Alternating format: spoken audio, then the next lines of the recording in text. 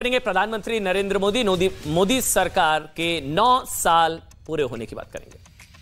Prime minister Modi is the boss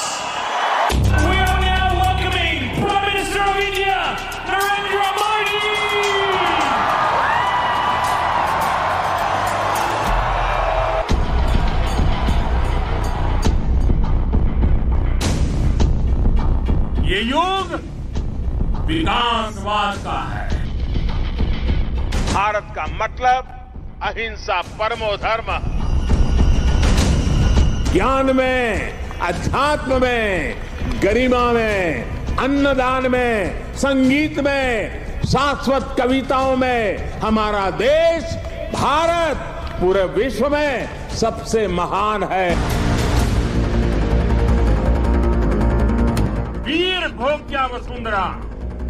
यानी वीर अपने शस्त्र की ताकत से ही धरती की मातृभूमि की रक्षा करते हैं। देश देख रहा है।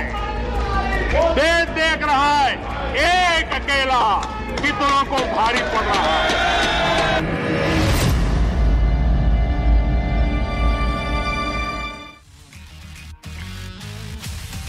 देखिए आज 26 मई और आज ही के दिन आज के दिन देश में नरेंद्र मोदी सरकार को 9 साल पूरे हो गए और इस मौके पर आज हम आपको 9 साल पहले फ्लैशबैक में लेकर चलेंगे। सवाल के साथ कि मोदी ना होते तो क्या होता?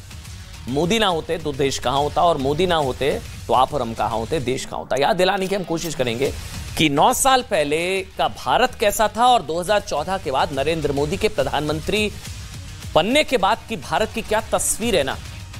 ये हम आपको दिखाएँगे। नौ साल पहले नरेंद्र मोदी भारत के नए नीति निर्माता बने और अपने क्रांतिकारी फैसलों से नए भारत की नींव रखी। आज नौ सालों में भारत नरेंद्र मोदी के कदमों से चलता हुआ वहाँ पहुँचा है जहाँ दुनिया इंडिया को बॉस बुलाती है। दो दिन पहले अमेरिका के राजदूत एरिक गार्सिटी ने कहा है कि भारत की कमान अद्भुत हाथों में है। समझ रहे हैं?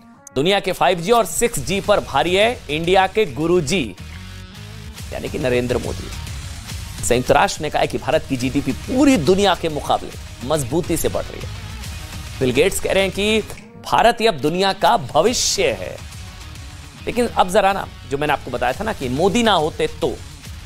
अब जरा आप 2014 से पहले का भारत याद कीजिए। कि आपको भारत की तारीफ़ में ऐसे स्टेटमेंट याद है? या तब किसी ने भारत को बॉस कहा था? बल्कि 2014 से पहले का भारत तो ये था कि जब जो है, चीन, अमेरिका जैसे देश भारत पर दबाव बनाने की कोशिश करते थे, धमकियाँ देते थे। और आज का भारत है कि जब अमेरिका जैसे देश के राष्ट्रपति हमारे प्रधानमंत्री का ऑटोग्राफ मांगते हैं, मोदी ना होते तो। ध्यान से देखिएगा। अगली तस्वीर। 2014 से पहले का भारत का ध्यान दीजिए। चीन बॉर्डर पर लगातार घुसपैठ करता था। बॉर्डर इलाकों पर भारत को सड़क बनाने के लिए धमकाता था। 2010 और 13 में के बीच तीन साल की छोटी अवधि में 500 से ज़्यादा घुसपैठ हुई। लेकिन 14 के बाद भारत ने साबित किया कि इंच इंच के लिए भारत का सीना छप्पन इंच है। गलवान की गौरव गाथा याद कीजिए। किसी ने सोचा था चीन के सैनिकों की ऐसी पिटाई होगी? जब भारत ने चीन के गुरूर की गर्दन तोड़ डाली थी। एक और तस्वीर आपको दिखाते हैं। 2014 से पहले का भारत ध्यान दीजिए। जब देश में आतंकवादी हमले होते थे, टीवी, रेडियो अखबारों में सरकारें अनाउंसमेंट कराती थी कि बस, ट्रेन या आपकी सीट के नीचे बम हो सकता है। याद है आपको? देश भर में बाजारों, बस अड्डों, रेलवे स्टेशनों पर धमाकों की खबरें आती थी। लेकिन चौदह के बाद आए दिन होने वाले धमाके या आतंकी हमले अपना के बराबर है। एक और तुलना 2014 से पहले का कश्मीर ध्यान दीजिए, जहाँ एक तरह से हर शुक्रवार को पत्थरबाजी का घोषित नियम होता था। अलगावादी देश की सरकारों को अपने आगे झुकाते थे। अब ये वही कश्मीर है जहाँ अलगावादी जेल में है पत्थरबाजी अंदर हो चुकी पत्थरबाजी बंद हो चुकी है। पत्थरबाज अंदर है और भारत कश्मीर में जी ट्वेंटी की बैठक कर रहा है जी ट्वेंटी की बैठक। मोदी ना होते तो। 2014 से पहले भारत चीन से कई चीज़ों का भारी मात्रा में आयात करता था, लेकिन नरेंद्र मोदी में आत्मनिर्भर भारत जैसे अभियान की वजह से चीन से आयात में भारी कमी आई है।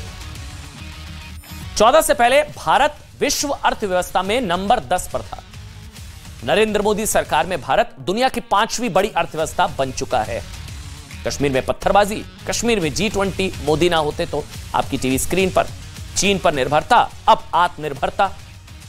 नौ साल पहले मोदी ना होते तो नरेंद्र और सोचिए अर्थव्यवस्था में नंबर 10 और अर्थव्यवस्था में अब नंबर पाँच मोदी ना होते तो ये सवाल अपने आप से पूछेगा। आए दिन आतंकी हमले, कश्मीर का सबसे बड़ा उदाहरण है। पत्थरबाजी और ना जाने क्या, परिवारवादी राजनीति, अब राष्ट्रवादी राजनीति। मतलब नरेंद्र मोदी सरकार ने, देश की राजनीति में भी एक बड़ा बदलाव आया। जहाँ 2014 से पहले परिवारवादी राजनीति देश पर हावी थी, वहीं मोदी सरकार राष्ट्रवादी राजनीति को आगे बढ़ा रही है। देश की राजनीति बदलने वाली सबसे बड़ी तस्वीर ध्यान कीजिए।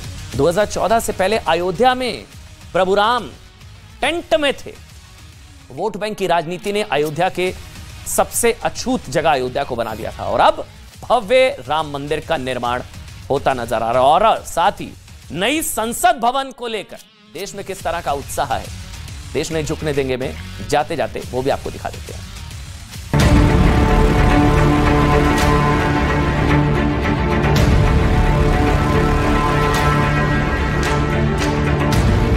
हमें गर्व होना चाहिए कि माननीय मोदी जी ने हमारे देश के अंदर हर चीज़, वर्ल्ड में जो सबसे बड़ी चीज़ है, हर चीज़ बनाई है। मोदी जी ने बनाया तो बहुत सोच समझ के बनाया। उन्होंने जो भी करा हमारे देश के विकास के लिए करा। है तो उसमें हमारे को कोई वो नहीं है। हम तो चाहते हैं कि मोदी जी ने जितना देश को आगे बढ़ाया और आगे लेके जाएँगे। ये अपना एक ऐसा निशान होगा जैसे बाहर जाने के बाद लोग कहते हैं मोदी जी मोदी जी। ये मोदी जी नहीं इस देश की शान है। जो नई संसद है भारत की शान का प्रतीक बनेगा। क्योंकि इसको बिल्कुल ही अलग टेक्निकल रूप से इसको एक सौंदर्यीकरण दिया गया है, नया सब कुछ इसमें चेंज करके दिया गया है। तो मेरा यही मानना है कि ये हम भारत को, नए भारत को नई दिशा की ओर ले जाए आप भी हिंदुस्तान की संस्कृति, हिंदुस्तान की महान परंपराओं के संबंध में बोलते समय कभी भी गुलामी वाली दिनों की मानसिकता में डूब मत जाना दोस्तों। आप देखोगे कि कितनी सारी पार्टियों का तो नाम ही नहीं होगा उसमें संसदों में। वो इतिहास बन जाएगा उनका कि क्या कहते हैं कभी वो थी। इसलिए उनको लग रहा है कि हमारा तो इसमें नाम ही नहीं होना है तो हम जाके वहाँ करेंगे क्या? आप उसे ज्वाइन कीजिए बहिष्कार मत कीजिए और जनता के लिए आम जनता के लिए काम कीजिए तभी देश तरक्की की ओर और बढ़ेगा।